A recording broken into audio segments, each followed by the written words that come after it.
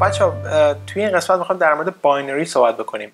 binary هر چیز توی کامپیوتر از binary تشکیل شده. یعنی شما هر عددی می‌زنید هر حروفی می‌زنید اینجا داخل کامپیوتر از صفر و یک صفر و یک و اینا تشکیل شده. برفرض من اینجا پنج می‌زنم تو زبان پایتون ببینید پنج رو به من تحویل میده. اما مثلا بزنم صفر b صفر یک صفر یک ببینید بازم پنج رو به من تحویل میده. و این عدد binary داخل کامپیوتر هستش که زبان پایتون به ما اینو میده. اما بذارید یه function ی من اینجا بنویسم. def by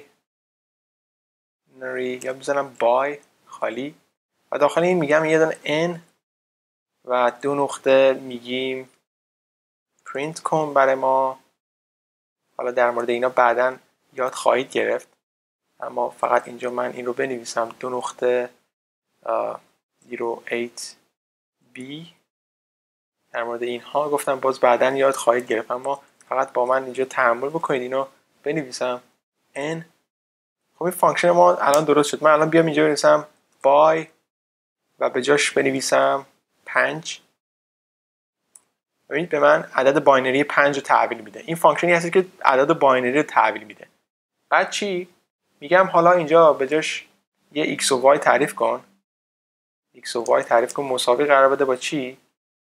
مثلا 0 x 5 5 و 0 x a خب؟ و بعد بیا اینجا binary مثلا binary x رو در بیاریم بیاریم اینجا. اینجوری میشه. می‌بینید؟ این عدد میده. میگم بیا binary y رو تحویل بده به ما. می‌بینید که اینجوری میشه. درست دقیقا برعکس بالاییه می‌بینید؟ عدد binary. این دوتا چیزهایی هست که من نوشتم اینجا شما ببینید بالایی برعکس پایینیه. ولی هر چیزی توی کامپیوتر از صفر و صفر و صفر و یک تشکیل شده. میام اینجا چیکار می‌کنم؟ or operator رو به شما نشون میدم. مثلا میگم binary اگر بخوایم مثلا binary بگیم x یا یا اینجوری نوشته میشه داخل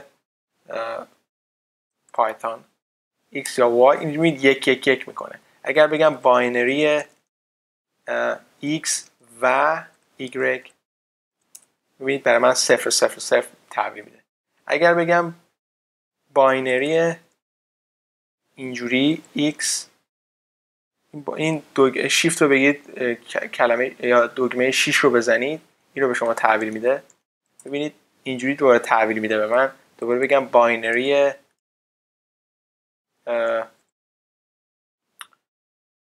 x و مثلا صفر. می‌بینید که برعکس این رو تحویل میده به من و بگم دوباره binary x مثلا 0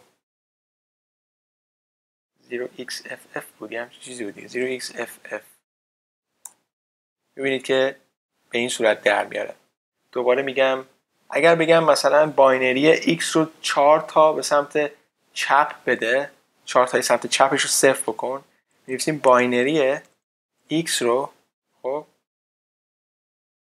چهار تا به سمت چی؟ چپ ببینید بده به این صورت در میاره. و اگر بگم دوباره binary x رو چهار تا به سمت راست بده ببینید که به این صورت در میاره. و آخریش هم این که مثلا بگم آخرش هم این علامته که binary رو من داخل این binary علامت tilde بذارم و بگم x رو به من تحویل بده. ببینید که به صورت binary رو به این صورت تبدیل می‌کنه. پس اینجا این علائم علائم binary رو می‌خواستم شما یاد بدم تحویل بدم. شیفت می‌کنه سمت راست شیفت می‌کنه سمت چپ. به این صورت چیکار می‌کنه؟ دقیقا binary رو برعکس می‌کنه binary بالا رو. و این and هست یا و به زبان فارسی این یا هست یا or به زبان انگلیسی و اینا هم چیه؟ این function ی هست که binary رو تعریف کنه این چیزها رو اگر علائم رو یاد بگیرید خیلی خوبه.